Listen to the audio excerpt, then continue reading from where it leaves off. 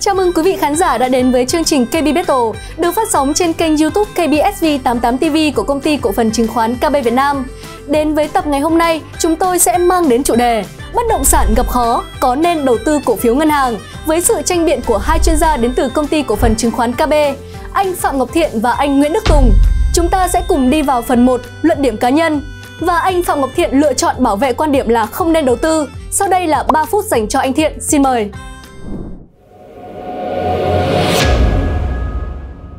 Uh, với tôi thì hiện tại uh, tôi uh, quan điểm của tôi là tôi uh, chưa giải ngân trực tiếp vào ngành ngân hàng bởi vì một số cái lý do sau.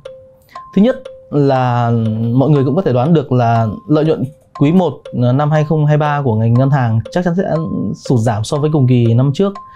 À, bởi vì cũng có thể đơn giản thấy được là cái việc tiếp cận nguồn vốn của doanh nghiệp hiện tại đang khá là khó khăn. Hơn nữa cái việc về siết chặt về tín dụng của ngân hàng nhà nước tôi quy định ờ, siết chặt tín dụng cũng đang uh, gây cản trở đến cho việc giải ngân của ngân hàng đối với những cái doanh nghiệp. Uh, cầu của doanh nghiệp về vốn thì có nhưng mà về cung về tiền của ngân hàng hiện tại thì vẫn đang đang bị thu hẹp. Cái thứ hai à, với cái việc mà khi mà lãi suất chung đang tăng cao như thế à, cái kiểu lãi suất hiện tại không chỉ tăng mỗi ở trong thị ở Việt Nam mà còn ở toàn, toàn thế giới. Và cái câu chuyện lãi suất này tôi nghĩ là nó còn sẽ kéo dài ít nhất đến sang hết quý 2 năm nay thì việc uh, lãi suất tăng cao như thế nó sẽ ảnh hưởng đến thứ nhất là nền kinh tế nói chung thứ hai là nhóm ngành ngân hàng nói riêng. Vì khi mà doanh nghiệp um, có nhu cầu vốn khó tiếp cận đến cái nguồn vốn uh, của ngân hàng thì dẫn đến cái việc doanh thu của nhóm ngành ngân hàng này sẽ bị uh, sụt giảm. Dẫn đến cái việc là hiện tại cái cái mức độ tăng trưởng của nhóm ngành này sẽ cũng sẽ gặp khó khăn cái nữa là khi mà cái chi phí ừ, đầu vào nó ở mức cao, vì hiện tại lãi suất huy động cũng đang ờ, ở mức khá là cao so với các năm, thì dẫn đến cái việc là chúng ta có thể thấy được là cái lãi suất, cái cái cái lợi nhuận của dòng ngân hàng này cũng sẽ bị sụt giảm so với các năm. Dẫn đến là nếu mà mình nhìn chung về cái cái sự tăng trưởng của ngân hàng hiện tại thì nó đang gặp khá là khó khăn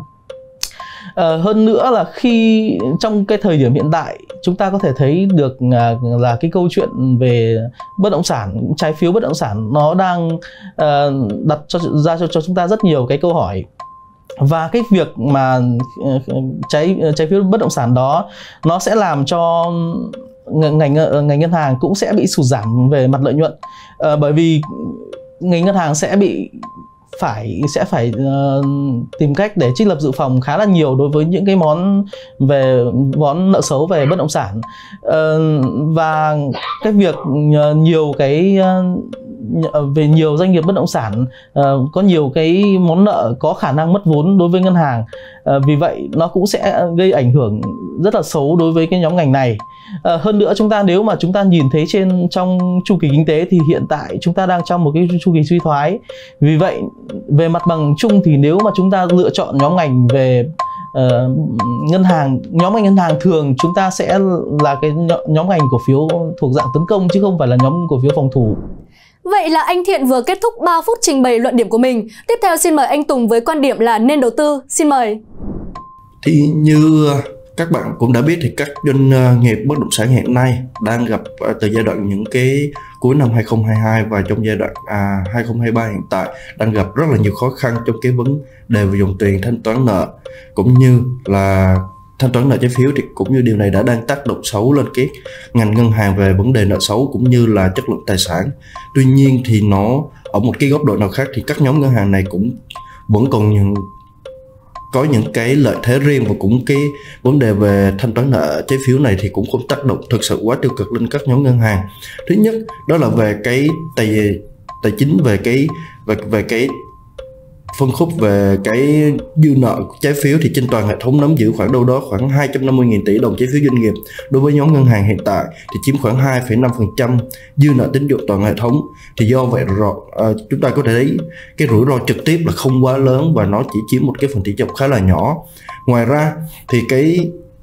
việc mà ngoài ra thì các ngân hàng đang cũng có vẫn giữ được cái tỷ lệ uh, phát triển ở cái kênh bán lẻ vẫn đang khá là tốt. Ờ, và đồng bộ tại các ngân hàng trong toàn hệ thống của khối ngân hàng thương mại cổ phần. Và điều này đã giúp cho cái phần, cái tỷ lệ niêm được cải thiện trong khi tỷ lệ nợ xấu nhìn chung trong, vẫn đang trong cái tầm kiểm soát của các ngân hàng. Đặc biệt chúng ta có thể thấy báo cáo từ ngân hàng nhà nước trong khoảng vòng giai đoạn từ 2020 cho đến hiện tại, thì các ngân hàng đều đang ở một cái, đều đã cho thấy những cái tỷ lệ bao phủ nợ xấu đang khá là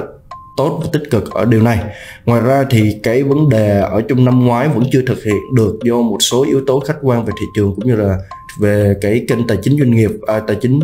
tài chính ngân hàng đang gặp khó khăn đó là cái việc là ngân hàng nhà nước chấp thuận cho một số ngân hàng à, tăng vốn để nhằm phục vụ cho vấn đề cải thiện về sức khỏe nguồn vốn đồng thời cũng như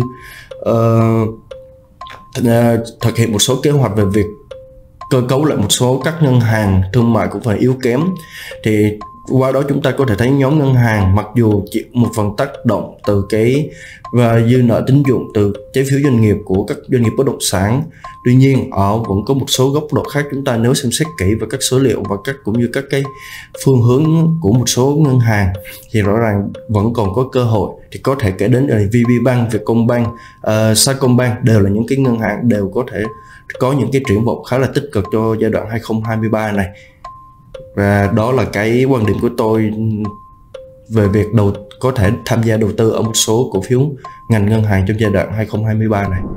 Vậy là hai chuyên gia đã vừa đưa ra luận điểm cá nhân cho câu hỏi bất động sản gặp khó có nên đầu tư cổ phiếu ngân hàng. Để củng cố hơn cho quan điểm của mình, mời các chuyên gia tiếp tục tranh biện ở phần 2 và mọi người hãy cùng theo dõi.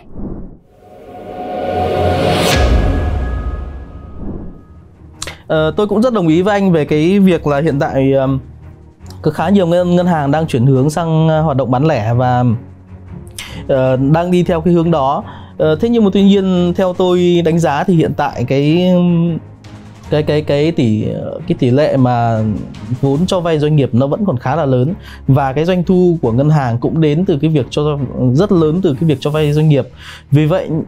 mà một cái việc mà khi mà mình tăng cái thu nhập từ hoạt động bán lẻ uh, lên thì nó vẫn không theo tôi vẫn không đảm bảo được ừ, về hoàn toàn uh, so với cái việc mà duy trì những như những năm trước về cái hoạt động cho vay doanh nghiệp hơn nữa thì tôi nghĩ là cái tỷ xu hướng tăng mạnh về tỷ lệ CASA trong doanh nghiệp uh, ở trong ngân trong dòng ngân hàng thì cũng không không hẳn là toàn bộ tất cả ngân hàng trong hệ thống đều có cái tỷ lệ CASA tốt như thế thì theo tôi tôi nghĩ là hiện tại uh, về cái việc mà cho vay doanh nghiệp nó đang gặp khó khăn cũng sẽ ảnh hưởng rất là lớn đến cái doanh thu và lợi nhuận của ngành ngân hàng hiện tại. Ok,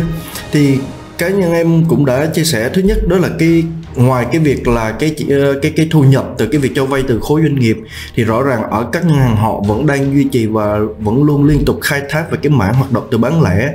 à, ở phía thu và các thu nhập ngoài lãi. Thứ nhất ở cái thu nhập ngoài lãi bán lẻ thì sẽ cải thiện giúp được cái biên lợi nhuận và nó phần nào cover lại những cái rủi ro từ cái phía uh, ở các doanh nghiệp à, và ngoài ra là cho vay đầu ra vẫn đang hấp dẫn hơn trong cái xu hướng tăng mạnh về cái tỷ lệ CASA thì tất nhiên ở đây tỷ lệ CASA này chúng ta phải dựa trên vào tùy những cái ngân hàng chứ không tính chung trên toàn hệ thống. Vì tất nhiên có những cái ngân hàng họ đủ sức họ đủ mạnh và họ đủ hấp dẫn để phát triển từ cái tỷ lệ CASA này. Và trong khi những cái cái cái ngân hàng khác họ vẫn chưa đạt điều kiện này ngoài ra thì trong dài hạn là sẽ giúp cải thiện cái tỷ lệ niêm. Ngoài ra từ phía cái nguồn thu ngoài lãi thì nguồn thu từ dịch vụ như là thẻ tín dụng băng cash vẫn đang là một cái nguồn thu khá là dồi dào trong khoảng 1 đến 2 năm hai năm gần đây của các ngân hàng thương mại cổ phần. Thì đó là những cái hoạt động mà có thể được kỳ vọng sẽ hỗ trợ lại việc uh, hạn chế của các ngân hàng cho vay đối với các doanh nghiệp đặc biệt là các nhân à, các doanh nghiệp bất động sản trong giai đoạn sắp tới. Và cái ở mức tăng trưởng này theo một số báo cáo thì được kỳ vọng đâu đó sẽ tham gia vào đóng góp vào khoảng 30% lợi nhuận trong vòng một ờ, trong mỗi năm. Thì đấy là tính riêng về cái triển vọng thu nhập từ cái hoạt động bán lẻ của các ngân hàng thương mại cổ phần. Ờ, tôi thì tôi thấy có một cái ý kiến của anh như anh đã chia sẻ là hiện tại các ngân hàng đang được hưởng lợi từ cái chế hỗ trợ tích cực khi mà tham gia tái cấu trúc ngân hàng. Thế nhưng mà theo tôi được biết được là hầu hết là hiện tại như ở trong ở trước đây thì một số ngân hàng sau khi mà đã hỗ trợ tái cơ cấu của một số ngân hàng yếu kém hơn, ví dụ như Sacombank chẳng hạn, thì sẽ phải gánh một cái khoản nợ và cái khoản nợ xấu rất là lớn. Vì vậy tôi nghĩ là đến cái việc ờ, tái cấu trúc một số ngân hàng yếu chưa chắc đã là cái cái điều tốt cho một số cái ngân hàng mà đang có cái uh, đang có cái hoạt động khá là ờ, tốt hiện tại? Ờ, thực ra cái việc mà các ngân hàng được hỗ trợ chỉ định tham gia vào hỗ trợ các ngân hàng yếu kém thì rõ ràng đấy là một cái thách thức cũng như là cái rủi ro đối với các ngân hàng được giao nhiệm vụ này. Tuy nhiên ở một cái góc độ khác thì những cái ngân hàng này sẽ được trao những cái cơ hội tốt hơn uh, như là việc các ngân hàng sẽ được tăng quy mô về nguồn vốn uh, phát hành riêng lẻ cho các đối tác nước ngoài để tham gia vào cái vấn đề đó là hỗ trợ các các các ngân hàng yếu kém. Và ở từ những cái ngân hàng yếu kém đó nếu họ cơ cấu tốt rõ ràng thì sẽ là một cái nguồn phân khúc họ sẽ thâu tóm được thêm một cái cái thị phần mới cho cái ngân hàng của mình. Thì đấy là một cái điều mà rõ ràng có chúng ta có thể thấy kế hoạch đã được đề ra. Và có thể khả năng đâu đó cá nhân tôi nghĩ thì các ngân hàng này họ đủ năng lực thì mới được giao xuống những cái nhiệm vụ như thế này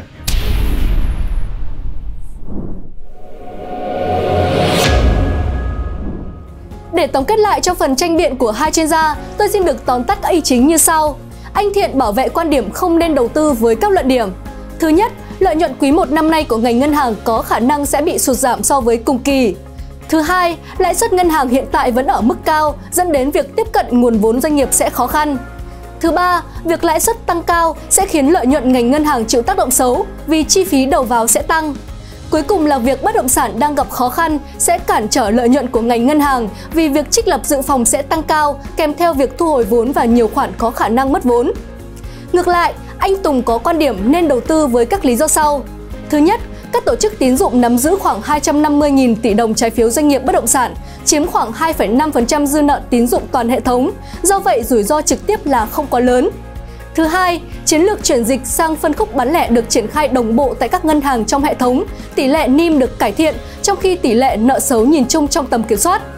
Cuối cùng, việc ngân hàng nhà nước chấp thuận cho ngân hàng tăng vốn, phần nào cải thiện chỉ tiêu an toàn vốn của hệ thống ngân hàng.